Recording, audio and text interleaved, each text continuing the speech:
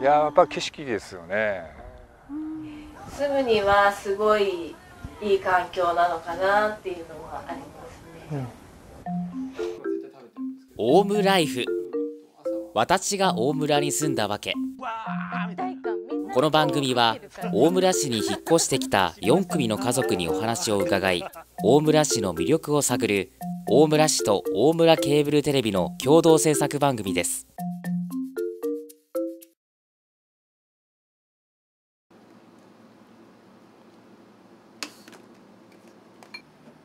昨年3月に東京下北沢から大村に移転オープンしたベトナム食堂空手チョップ。大都会東京から大村に引っ越してきたわけとは。大村に移転された理由聞かせていただいてもいいでしょうか？そうですね。最初にあの、まあ、商売をもともと都会でもやっていたのでちょっとそれに難しいなと思い始めた時に同時にこう田舎に帰りたいなっていう思いも強くなって私が大村に帰りたいって言ったのがきっかけ、うん、でそれにこううちの主人はもうね。イエスね。どんな時かもわからないのに。そうね。確かに長崎の場所もね ちょっと曖昧やったからね。ったのに。曖昧やったからね。そう OK って言ってくれたのがやっぱり一番心強かったですやっぱ商売やっててこれ感じることなんですけどあの特にお店やってる人同士のなんか助け合いみたいなのがすごくあって例えばなんかあのイベントの時に机がないとか車をちょっと貸してほしいって言ったらすごく快くもういつでも言ってみたいな感じで貸してくれたりとかっていうのがすごいですね。横のつながりというか助け合い精神というか。で実際にお互いにお店食べに行ったりとかっていうことも頻繁にあるしねなんかすごくいいね。あの、ベタな言い方するとあったかい？ですよね。まあベタですけどね。まあ本当まあそうそうかなって感じですね、うん、花火大会よかったね。名護市ね。行ったんですね。あの都会にはない良さがありますねあれは。あの見上げる感じで花火を見れるっていう。すごい、ね、音もすごいしあの見てる方の歓声がねなんだろう素直というかわー一体感みんなでこう見てる感じが。で失敗した時ああみたいなのがあれに感動したっていうなんかみんなで見てるぞみたいな感じでね。みんなで盛り上げてるぞみたいな。そうそうすごく楽まだ毎年行きたいねねだからもう休み休みにしてお店休んで毎年行こうねって。自転車で行くのがいいです。はい。車混みますから34馬線混みますから。そう自転車で、ね、がいいです。やっぱり飲食店なんであの食材なんですけど東京の時にずっとこうやっぱり大村にもし来たらやりたいなと思ったのはあの地元で作った野菜ですね大村の場合だと。そういうのをあの直にやっぱ農家さんから買ってそれをやっぱり料理して出せるっていうのをやっぱ新鮮な野菜の方が美味しいしあと地元にこう貢献できるみたいな感じので一緒になんかお店やってるみたいな感じもやっぱり憧れてましたね東京の時から。それが今1年経っていろいろつながりもできて、うん、実際にねそういう夢がもうほぼ叶ってるしね。そうだね。それがやっぱうれやお店やってて嬉しいですねそういうのが。うん、ねなんかちゃんとしたもの出せてるみたいな感じだし、うん、なんかちょっと声をかければいろんな人が協力してくれて、うん、あこういうのあるよって。そうそうそう。紹介してくれたりとか農家さんとか。農家さんをつないでくれる人が彼らもあの食べに来てくれたりとかもするようになるし、うん、僕らもねやっぱりゆくゆくはそういうの農業体験とかもねね。なんかちょっとしたいなみたいな気持ちになってきて、自分たちで作って作れたらいいなとか思ったりもあるしやっぱりどんどん広がりますね夢が。本格ベトナム料理は県内でも珍しくまたご夫妻の明るいキャラクターもあってオープンから1年お店は市民に愛される人気店となっています。アルカディア大村にオフィスを構える長崎スポーツタウンマネジメント株式会社。市民の健康増進を図るスポーツ教室事業などを展開しスポーツでまちづくりを行うために設立されました。この会社には県外から訪れた熱い志を持つ若者がいます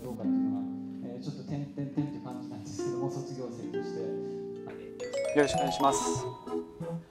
角さんが大村に来た理由聞かせてください。えー、と仕事で来ましたで今の会社の社長が私の師長師匠になるんですけども、えー、2014年に、えー、次の時代の働き方、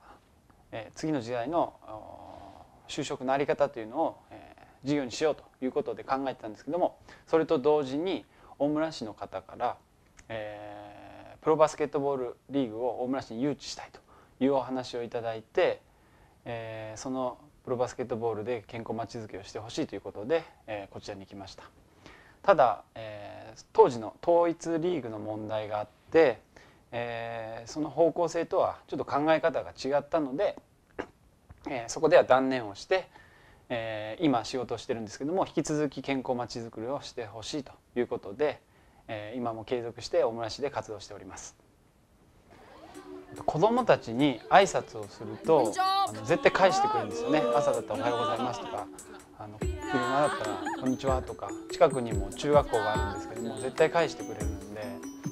子供たちの挨拶に大村のその温かさとかそういうものが現れてるなというのでそういう印象があります。普段の買い物なども便利ですし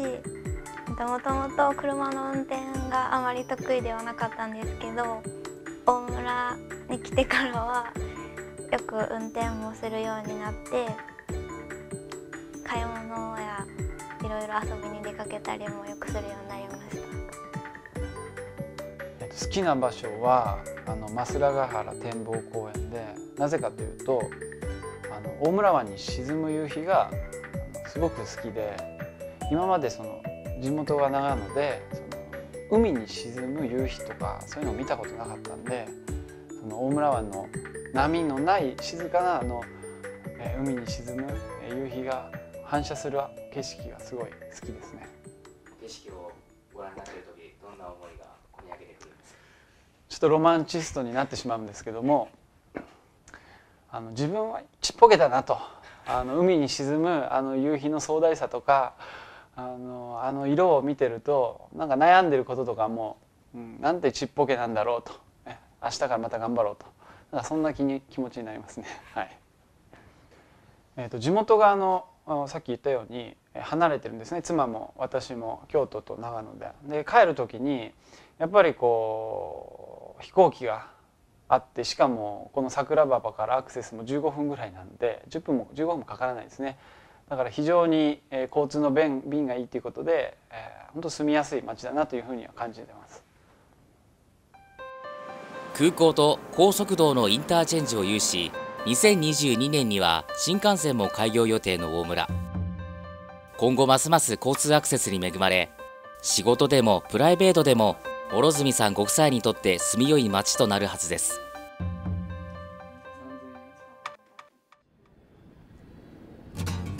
大村市は陸海の自衛隊3部隊が駐屯し自衛隊員が多い町としても知られています。全国の駐屯地へ転勤を繰り返す自衛官ですが大村の駐屯地を希望する人が多いといいます。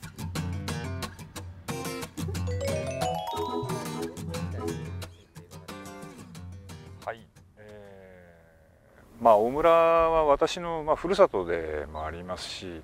まあ、生まれ育ったこの土地に、まあ、最後最後というか、まあ、あの最終的にはまあ移り住んで、まあ、住みたいなというのが一つの、まあ、大きな理由です。はい、特にあの大村についても自衛隊の町というイメージがあります。まあ、そのした中でやはり自衛自衛隊としてすぐ勤務またあのすごく勤務しやすい、まあ、土地柄でもありますし非常に自衛隊の中でもいいところだというところは話はあります。はいまあ、やはりあの地域の方々すごい理解があると、えー、いうところじゃないでしょうか。はい、綺麗な街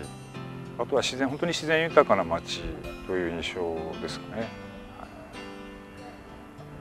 はい、大きなショッピングセンターもありますし商業施設がいろいろ揃ってますので安心して生活できる場所かなと思います。病院もね。そうね。病院もね近くにたくさんあります、えー、大きい病院もありますし、ね。まあ安心して暮らせる街っていうところですかね本当に。ね。いややっぱ景色ですよねあの一番私が好きなのはあの琴平のあの展望台ですか。そこから大村をこう市街を眺めるのが結構好きで、えー、子供たちもね、喜びます。森園もよく来るんですね。ここの公園も。夏場はよく裸足になって水の中で遊んだりとかしてますね。自衛隊に対する市民の理解が深い大村市。牧さんのように大村を故郷に持つ人はもちろん県外の出身者も大村へ移住し大村に家を建てる人も多いといいます。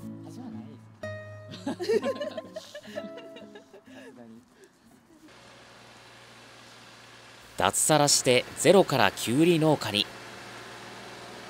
新天地大村で家族4人と暮らす若き農業者がいます、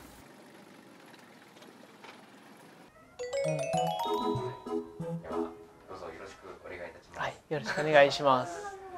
まずあの佐々木さんが大村に来られた理由、聞かせてもらってもいいですか？はい。理由についてはえっと奥さん嫁の方のえっとお母さんの方の実家がですね、えっと、大村の宮台にありましてでそれでそこのおじさんがみかん農家をやってましてそれでまあよくよく将来的にはそこの後継者っていう形で、うんと、こちらの方に来ました。そうですね。やっぱり一番は、うんと、農業っていうのはやっぱ大変だなとは思いますし一人でもなかなか農業やるのはね、うん、ちょっとね大変っていうのもありますね。そうですね私が生まれ育ったところは東京なので、まあ、大村と全く違うところではあるんですけど母親の実家が大村の宮台なので夏休みとか小さい時によく遊びに来てたので全くこう抵抗はなかったですね。とよく夏休みとかですね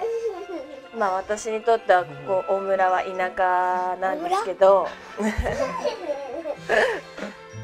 田舎に帰ってくると家の前にあるあの川で川遊びをしたりあとは、まあ、魚を釣ったり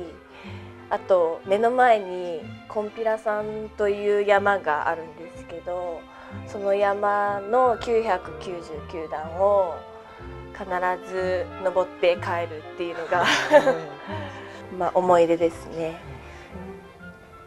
晴れだといいんですけど雨の日だと外で遊べないので室内で遊べる場所というと家の中とかですね限られてしまうんですが最近その大村にオムランドというのができまして何回か利用して遊んではいますね。住むにはすごいいい環境なのかなっていうのはありますね、うん、桜の時期とかちょっとなかなか行けずにいるので大村公園でですね花見を楽しみにしています。ねぱ自然が一番多くあって子どもたちものびのびと はい過ごしているかなって思いますね。はい、やっぱり都会では味わえないその自然の楽しさとかが、まあ、多くあるのかなっていうのは感じますね。日だまりのように温かな佐々木さんご一家。もうじき3人目のお子さんが生まれるそうです。今回職業の違う4組の家族にお話を伺いましたが交通アクセスの良さや商業施設や医療施設の充実自然にあふれ子育てしやすい住みよい大村市の魅力が見えてきました。県内13市で唯一人口が増え続けている大村市。転入者の声を市民の声をまちづくりに生かし10万都市を目指します。